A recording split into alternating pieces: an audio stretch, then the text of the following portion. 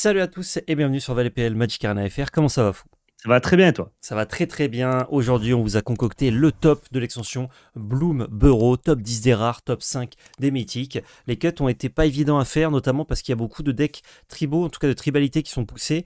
Ce qui veut dire que bah, il y a des cartes qui peuvent être super bien dans certaines tribus, mais nulles ailleurs, et d'autres cartes qui sont bien partout, mais peut-être qui seront moins bien que les tribus. Donc un peu dur de vous concocter ça, surtout qu'on vous fait le top avant d'avoir testé euh, l'extension. Si vous regardez cette vidéo quand elle sort, vous pouvez la regarder évidemment et venir sur Twitch. On est en live euh, à partir de 16h le mercredi. Donc peut-être que cette vidéo est sortie après euh, le mercredi 24 juillet pour justement découvrir l'extension Bloomborough sur Twitch. Lien dans la description. Pas besoin de compte, rien. Vous cliquez sur le lien Twitch, vous y êtes, vous nous regardez, vous prenez du plaisir et c'est bon. on va même commencer par un petit peu de Boxbox scellé. Quand vous regardez cette vidéo, en fait, on est en live actuellement. On est déjà en live. Donc n'hésitez pas, venez le box break scellé sera déjà passé, mais sortira sur la chaîne multi-TCG. Vous avez le lien qui est dans la description. Et ça fait plaisir. Euh, donc voilà, n'hésitez pas à venir. Avant qu'on commence ce petit top 10 rapidement, merci à Playing by Magic Bazaar. Code ValetPL. Oh, j'ai pas vu le petit logo. Voilà. Euh, code ValetPL 2024 sur leur boutique. Ça vous donne 50% de points de fidélité supplémentaires et ça nous soutient quand vous utilisez. Merci à tous. Merci à Ultimate Guard. Lien d'affilié dans la description. Vous cliquez, vous, vous faites vos achats. Ça nous soutient également quand vous passez par ce lien pour faire vos achats Ultimate Guard. Petit concours.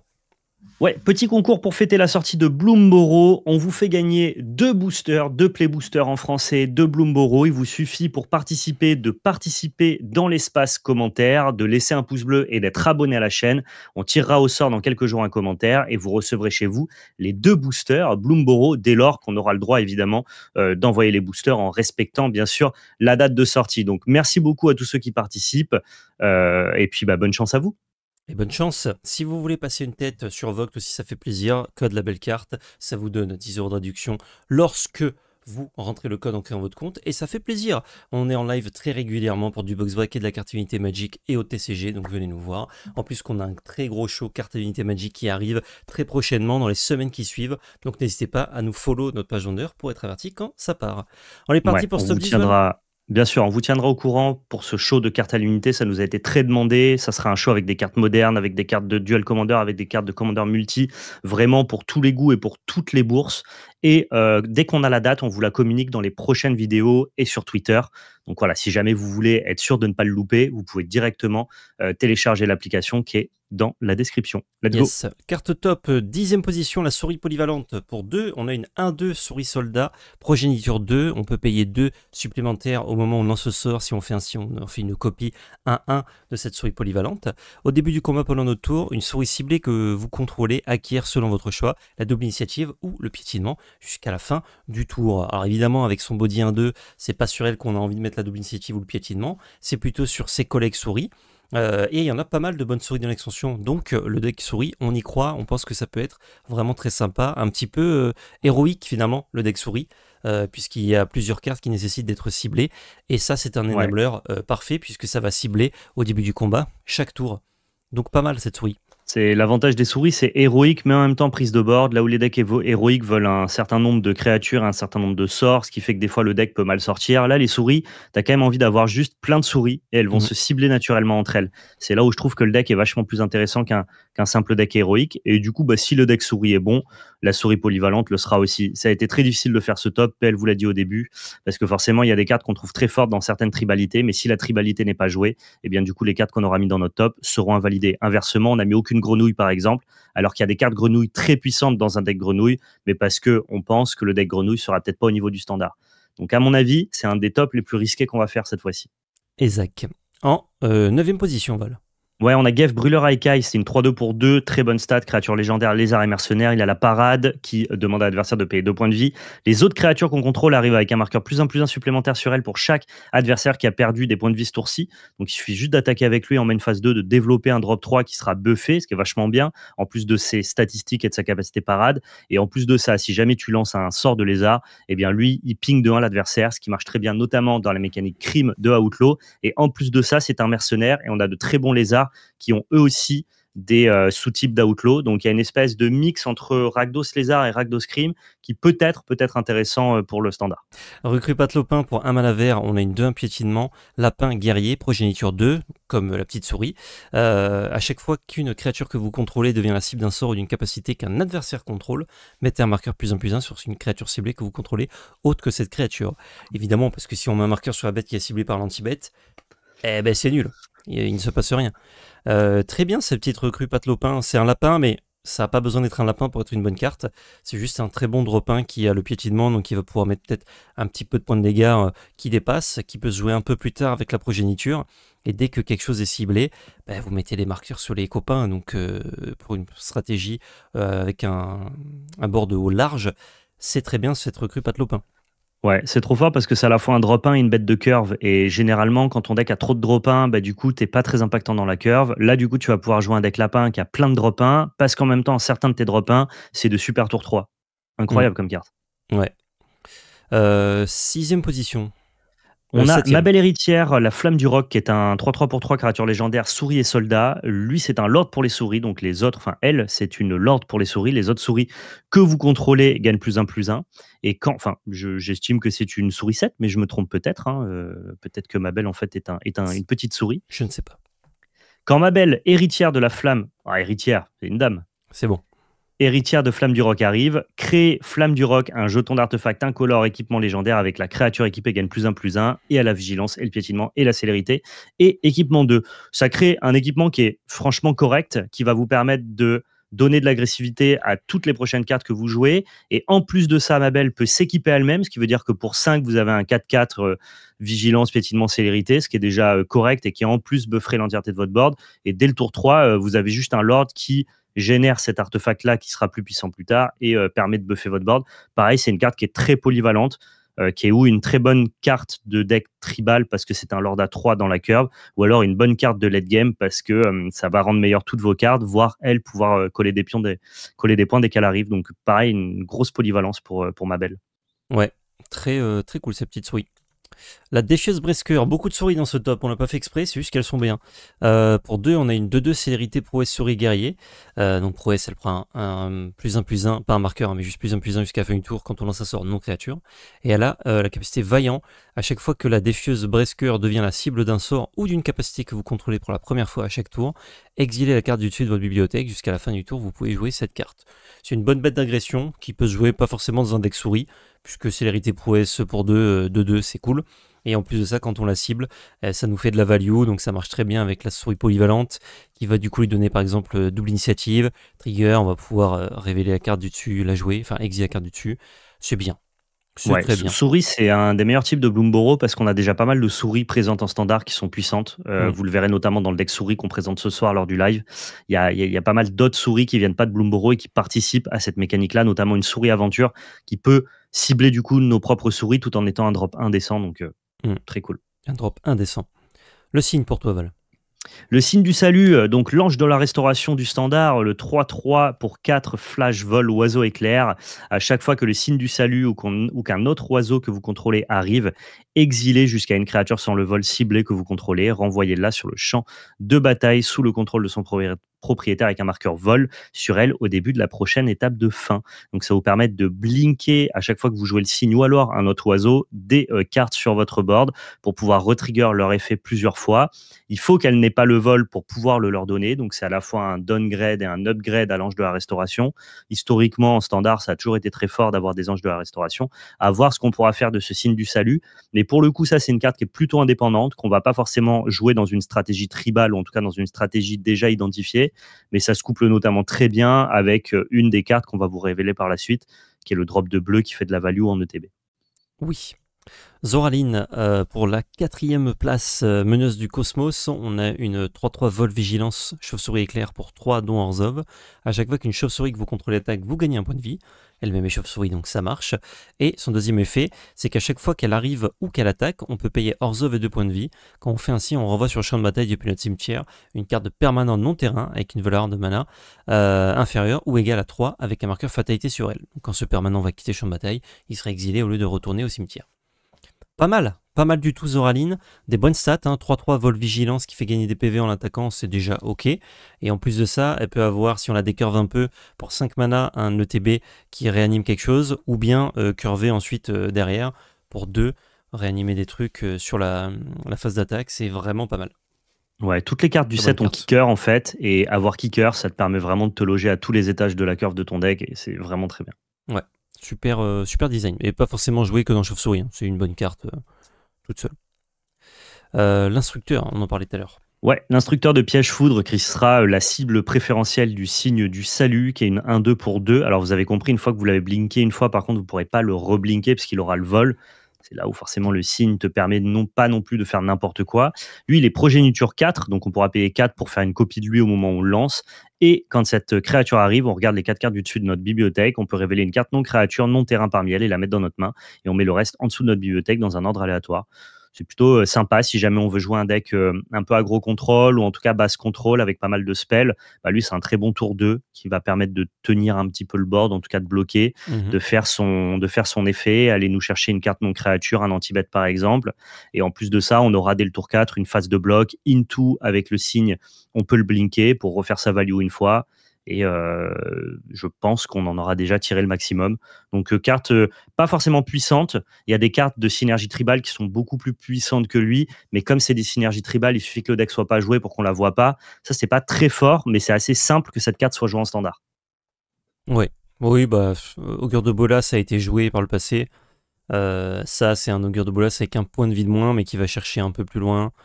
Qui, ça va chercher plus loin et c'est la progéniture, ouais. Parce qu'Augure de Bolas, ça serait pas joué actuellement. Non, mais c'est une meilleure version. Donc, euh, si une moins bonne version a été jouée, une meilleure version, je pense, actuellement serait jouée. Quoi. Donc, euh, ouais, très bien cet instructeur piège foudre. Deuxième position, le fouet de vigne iridescent. On a un drop 1, euh, encore une fois, une 1-2 pour 1 mana noir, progéniture 2, et simplement en touche terre, il est lézard assassin aussi, je précise, hein, c'est intéressant.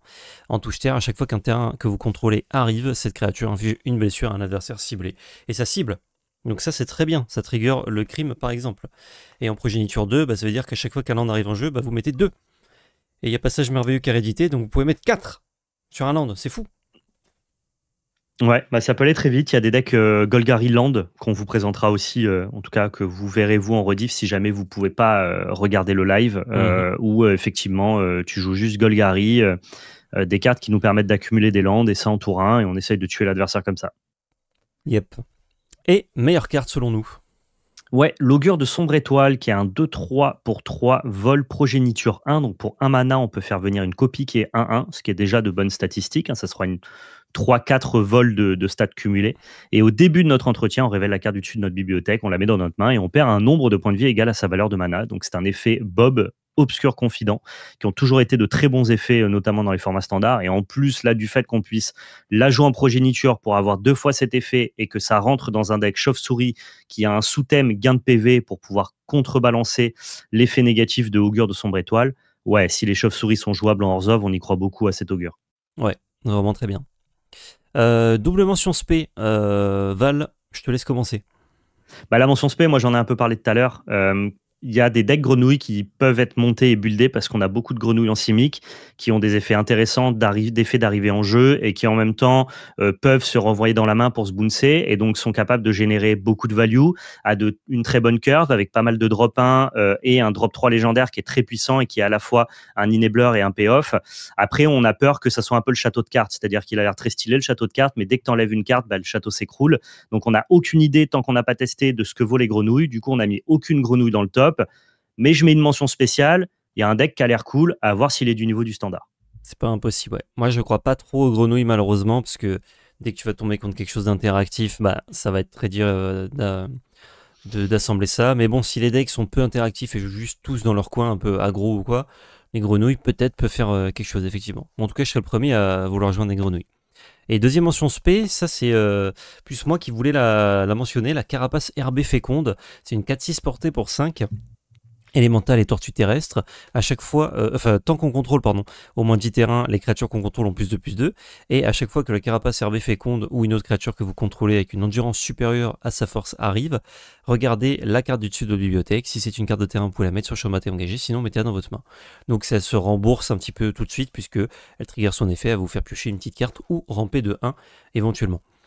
Euh, pourquoi en mention SP Parce qu'on ne sait pas si ça va être joué, c'est quand même un, pâté un petit peu lent, euh, mais ça mérite quand même d'être mentionné selon moi parce que les stats sont intéressantes, euh, l'effet de se rembourser et potentiellement de faire l'effet avec d'autres cartes comme Shieldred, hein, ça marche bien, ou d'autres qui ont une endurance plus élevée, c'est pas mal.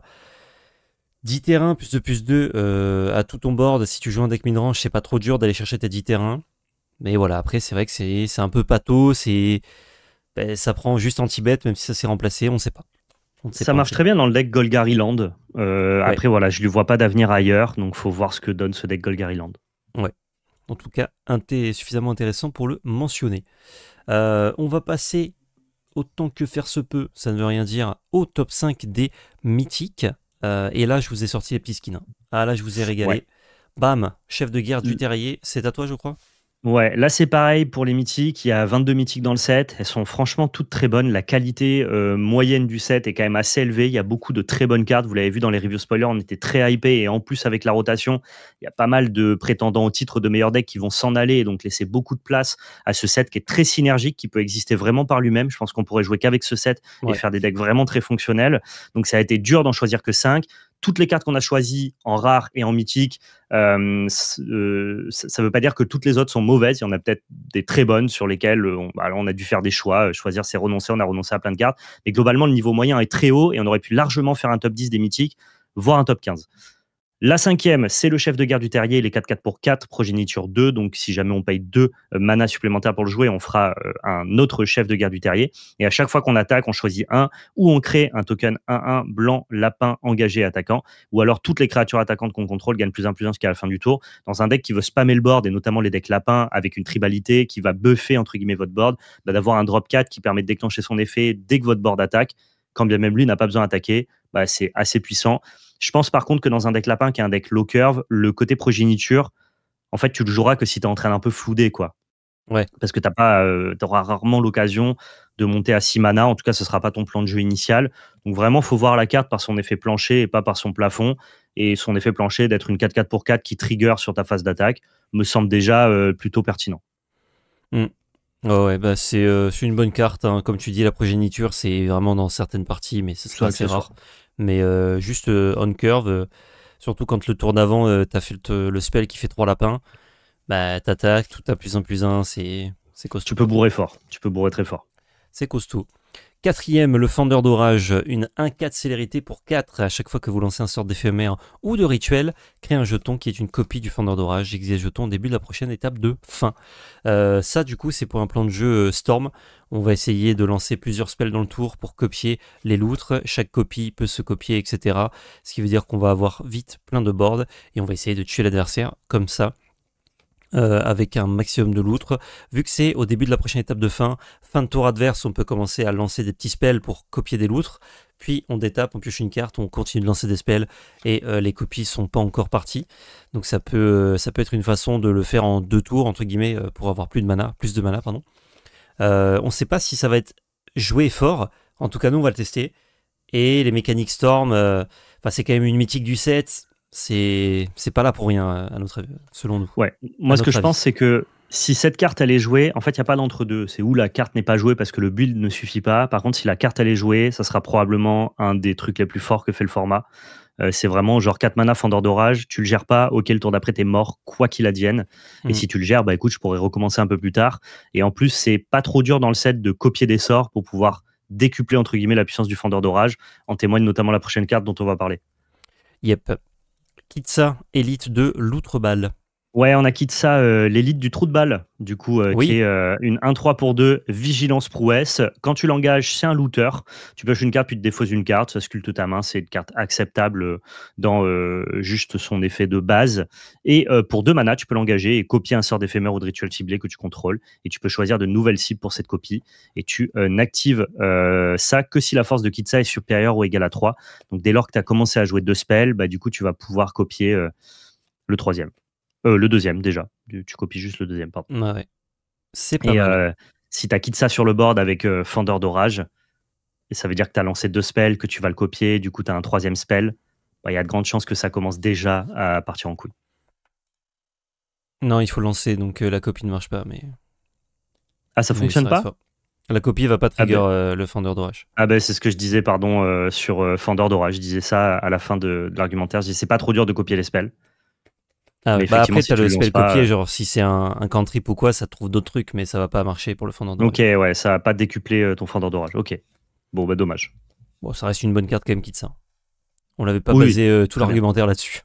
Heureusement. Non, mais moi je pensais que Fendeur d'orage, du fait qu'il y ait beaucoup de facilité de copie de spells qui Mm. historiquement sont pas très bons en standard, mais là on a ça sur des cartes qui sont décentes. Ouais. Je me suis dit, ok, si tu commences à copier des spells très facilement, peut-être que ça décuple l'effet de Fendeur d'orage, mais effectivement je me suis planté. Mais par contre, t'as le spell pour 2 du Big Score. Il me semble que ça copie une créature pour 2. Et du coup, bah, pour 2, tu trigger, tu fais une copie de ça. Ah, mais et le spell je- fait une copie je- du fendeur. Je suis persuadé que IZ Storm, ça sera à Jank, et donc très puissant si on te laisse faire, et il va falloir juste trouver le build compétitif. Bah, dès que euh, on te tue pas tour 4 et qu'on te laisse un peu vivre, euh, c'est assez puissant, je pense. Le problème, c'est que le format, il a l'air de, de bien te tuer, quoi. Ouais, mais toi, On tu as une verra. 1-4 pour bloquer. Et au pire de ça, tu peux essayer juste de jouer un build un peu contrôle qui développe au bout d'un moment Fendeur d'orage into létal. Ouais, ouais. Je vois, je vois. Euh, deuxième position, Igra, le dévoreur du tout. Qu'est-ce qu'il mange, lui? Oh, du tout. Il a tout le temps faim. Pour 5, donc Golgari, on a une 6-6 élémentale et chat. Parade, sacrifier une nourriture. Vous allez dire, mais si j'ai pas de nourriture, je peux pas le cibler. Calmez-vous. Les autres créatures sont des artefacts nourriture en plus de leur autre type et ont 2 mana, engagé, sacrifice permanent, vous gagnez 3 points de vie. Ce qui veut dire que les créatures adverses sont aussi des artefacts nourriture, donc il peut sacrifier une de ses bêtes pour cibler Igra. Par contre, s'il a pas de bête, il peut pas le cibler, ça c'est sûr. À chaque fois qu'une nourriture est mise dans un cimetière depuis le champ de bataille, pas forcément les vôtres, mettez deux marqueurs plus un plus un sur Igra, dévoreur du tout. Donc vous pouvez sacrifier vos petites bêtes. euh, c'est qu'une nourriture est mise dans un cimetière, donc c'est pas forcément en utilisant la capacité de nourriture. Vous pouvez juste euh, sacrifier des permanents, enfin des, des créatures ou des vraies nourritures autrement pour mettre des marqueurs sur Igra et y prendre deux marqueurs. Il n'a pas de capa d'évasion, mais il est très dur à remove. Et qu'est-ce qu'il est costaud Ouais, c'est juste une grosse bête qui a l'air d'être synergique avec les plans Golgari cimetière. euh, Il y a pas mal de decklists qui tournent euh, avec lui euh, et les stats sont fortes. C'est quoi qui marche bien euh, avec les decks cimetières? La Migra. Igra? Oui, mais Bah, c'est quoi tous les plans, le plan sacrifice, quoi. J'ai pas forcément étudié parce que ça m'intéressait pas trop euh, euh, comme, euh, comme type de build, mais, euh, mais il, est, il est pas mal présent. Ouais. Ah ok, ouais, c'était des moteurs de sacrifice genre pour, pour trigger le, le truc. Je vois. Et meilleur mythique selon nous, la loutre.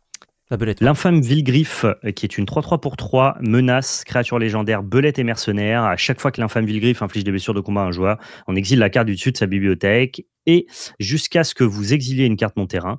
Ensuite, on peut lancer cette carte en se défaussant d'une carte à la place de payer son coup de mana. Euh, c'est euh, puissant dès lors que tu connectes, tu vas pouvoir, si tu trouves un playable, et bien le jouer en défaussant une carte de, ta main, donc contre un petit peu de carte advantage. Par contre, tu vas développer euh, beaucoup de tempo et ça peut vraiment directement mettre l'adversaire sous l'eau. Alors, tu as des gens qui vont essayer de euh, cheater des cartes très puissantes comme Atraxa par exemple, ou alors tu peux juste jouer ça dans un deck Rakdos agressif et dès lors que tu trouves ne serait-ce qu'un drop, un drop 3, ça suffira à, à faire des bêtises avec quoi. Ouais, je trouve que même dès, que tu trouves un drop 2, c'est c'est très acceptable parce que tu dois défausser une carte n'importe quoi pour payer le coup. Euh, Ouais. Donc tu peux défausser un land. Euh, tu ne vas pas le payer, donc euh, sur le tour 4 où ça va attaquer, parce que tu vas jouer au tour 3, tu vas pouvoir développer un truc gratuitement. Et, euh, et en vrai, tu Bah, fais, c'est ça, c'est un gros gain de tempo. tu fais pas forcément de, du card disadvantage parce que tu as défaussé une carte pour en jouer une. Donc c'est juste que tu Ouais. ne fais pas de card advantage. Bah, à la base, cette, cette carte-là, tu l'aurais jouée. Là, tu dois avoir une carte en moins de ta main pour la jouer. Donc, tu fais un peu de CDA, mais c'est pas très grave. C'est largement compensé par, le, par la value que ça, que ça t'amène. quoi. pas la value, mais par la tempo que ça te, que ça t'offre. Mais justement, il n'y a pas de CDA puisque tu utilises une carte pour en jouer une autre. Donc, oui, parce que oui, en fait, parce que tu as fait le plus 1 sur ton infâme Vilgriffe de base, ouais. Ouais. Donc, ouais, donc tu fais plus 1, moins 1, tu fais du CDA, mais à la base, tu avais fait plus 1, ce qui te rapporte à 0. Ouais, bah en gros, dès que tu vas en caster une, si tu la castes, hein, parce que t'es pas obligé, euh, tu dois défausser une carte. Donc euh, j'utilise une carte pour en caster une autre. En fait, le fait, c'est que tu pourrais faire du carte advantage avec ton infâme Vilgriffe, parce que tu peux aussi payer la carte que tu trouves. Euh, tu peux est-ce que, payer? Bah je sais pas, je demande. À chaque fois, exiler carte dessus, vous pouvez lancer cette carte en vous défaussant une carte. Non, non, t'es. Ah, t'es obligé T'es obligé normalement. Ok. Ah, c'est dommage, parce que ça te permettrait juste de faire du plus 1, tu vois. Ouais, effectivement. Ok. Bon, c'est une carte intéressante parce que sans penser à son plafond, son plafond c'est de résoudre une carte complètement débile, mais ça demande un coup au deck building. Euh, juste son plancher d'être un 3-3 menace pour 3 qui te permet de faire ça quand ça touche. Bah, la carte elle est juste très bien quoi. En plus elle est mercenaire donc ça rentre dans les plans de jeu à Outlaw. Ouais. Ça m'a l'air très correct. Très très bien, ouais, cette mythique. Euh, mention spé, euh, parce que là des gens vont dire Ah, mais vous avez parlé des saisons, il ne pas parler des saisons Bah si, mention spé. Euh, en fait, on, plutôt que de trouver euh, un classement qui est la meilleure saison, machin truc, elles sont toutes très bien. Donc on vous dit juste que les saisons sont des bonnes cartes. On montre la bleue ici parce que la bleue elle a des effets, bah voilà, c'est piocher des cartes pour 6, ou bien copier artefact ou créature que vous contrôlez, ou bien renvoyer chaque permanent non terrain non jeton dans la main de son propriétaire. Euh, donc, euh, donc voilà, ça fait des trucs assez sympas. Euh, mais en vrai, elles sont toutes fortes. La rouge, ça permet d'exploser en mana. La blanche, d'exploser en board. La noire, de faire sacrifier. la blanche, vert, bleu, noir. Ah, j'ai tout cité, ouais. Non, la verte permet de faire un buff de board immense. Elles font toutes des trucs très bien, très forts, mais c'est des gros rituels. Donc à voir si le standard nous permet de jouer des gros rituels dans certains decks. Si on n'a pas le temps, bon bah elles sont pas jouées mais ça n'en fait pas des mauvaises cartes. Si on a le temps, eh ben on peut les jouer, ça fait plaisir. Et si vous êtes joueur de Commander Multi, je vous invite, euh, suivant le niveau des tables auxquelles vous jouez, à, racheter vos petites saisons parce que euh, c'est de très bonnes cartes pour le multi. Ouais, elles sont toutes très cool. Hein, honnêtement, euh, il y, a, de grandes chances qu'on en ait quelques-unes qui soient jouées en standard. Yep. voilà. Bonne ouverture à vous si vous voulez ouvrir vos saisons. N'hésitez pas. Fin de ce top, euh, qu'est-ce qu'on pense du coup de cette extension une fois qu'on a fait un petit top alors qu'on est en train de jouer mais qu'on ne joue pas au moment où on tourne cette vidéo? C'est une extension qui est très synergique, qui n'a pas beaucoup de cartes individuellement puissantes et donc du coup pas énormément de cartes qui va renforcer les decks qui passent la rotation du format et ça c'est plutôt bien, ça veut dire que ça va vraiment amener un vent d'air frais. renouveau. Blomboro a l'air d'exister par lui-même et de créer des archétypes le deck Célestia Lapin, on peut quasiment jouer que des cartes de Blomboro. Pour le deck Souris, on a quelques cartes de l'ancien standard qui vont venir le renforcer, mm. mais globalement, c'est une nouvelle stratégie aussi. Et on a euh, toute cette euh, nouvelle vague de Blomboro qui, du coup, si les cartes sont assez puissantes, va nous permettre de renouveler le standard. Donc voilà, je le trouve euh, plutôt, plutôt très synergique, très tribal, ce qui a rendu le top vachement plus dur que d'habitude. Je trouve que, je suis d'accord avec toi, je trouve que l'extension, elle apporte quelque chose, en tout cas en théorie, parce qu'on n'a pas encore pratiqué, euh, de euh, ben, j'apporte euh, plein de nouveautés. Et ça, ça passe aussi par la rotation, hein, ça aide, mais au-delà de la rotation, donc le fait qu'il y ait quatre extensions de moins standard, il y a plein de nouveautés tribales. Donc on peut jouer chauve-souris qui a l'air très cool, on peut jouer lapin, on peut jouer souris, on peut jouer aussi d'autres trucs, mais ça on ne sait pas encore si c'est suffisamment bien. Mais malgré ça, tu as des plans de jeu aussi nouveaux qui utilisent des anciennes cartes. Par exemple, le, deck euh, IZ euh, Storm. Ça, tu peux pas du tout jouer qu'avec les cartes de Bloomborough. Tu as besoin d'anciennes cartes. Euh, tu as d'autres plans de jeu aussi comme Mercenaire qui récupèrent une ou deux très bonnes cartes, voire trois, qui du coup n'étaient pas jouées avant mais existaient. Enfin, étaient un peu jouées mais pas tiers. C'est euh, l'équilibre parfait. Ça a l'air d'implémenter des nouveaux decks, ça a l'air de renforcer des decks qui n'étaient pas jouables avant la rotation, et ça mm. a l'air de laisser vivants les decks qui vont passer la rotation. Donc il y a un espèce de joyeux melting pot où euh, le champ des possibles est totalement ouvert, et maintenant ce sera le, le hive mind, hein, la, conscience collective de tous les joueurs qui vont résoudre le format, mais le format est assez ouvert. On est sur une ligne de départ assez ouverte en tout cas. C'est clair. Donc euh, pour moi, à, donc à voir en testant, mais sur le, le pari théorique, c'est réussi. Bravo Wizard. Euh, j'attendais pas grand chose à base de cette extension. Je me suis dit, bon, bah, on verra. J'attends plus la rotation que l'extension. Et ben, bangers. Ça a l'air d'être un bangers en tout cas. Très cool. Et surtout, merci Wizard, les lignes de texte. La plupart des cartes n'ont pas beaucoup de lignes de texte. Et quand elles en ont pas mal, bah, c'est simple. C'est très simple comme là. Les saisons ont beaucoup de texte, mais c'est très simple. Donc c'est ça. Ou alors c'est ton reminder text de qu'est-ce que fait progéniture? Mais en fait, on pourrait juste avoir marqué progéniture 2 et du coup, la ligne de texte Ouais. est cool. Donc, ouais, on n'est pas sur du complexity creep, on n'est pas sur des wall of text, on est plutôt euh, sur des cartes qui ont des effets simples et élégants. Moi, Mhm. franchement, Bloomborough, c'est. euh, c'est- voilà, à part la DA qui, moi, me euh, fait pas autant chavirer que ce que je peux voir sur les internets, quand on parle juste de pure mathématique des cartes, je suis complètement hypé, il n'y a pas de galère. vendu à tous les points. C'est Wizard attendait beaucoup de cette extension, je pense. Euh, bah, c'est normal. C'est normal, c'est normal, je c'est comprends réussi. pourquoi. Voilà, fin de cette vidéo. Pouce bleu, commentaire, partage, abonnement, réseau dans la description avec notre chaîne Twitch, Valpel Magic Arena FR. Et surtout, n'oubliez pas, c'était de la belle magie. C'était de la belle magie. Merci beaucoup aux tipeurs qui soutiennent la chaîne. Si vous aussi vous souhaitez nous aider, le lien de notre page est dans la description.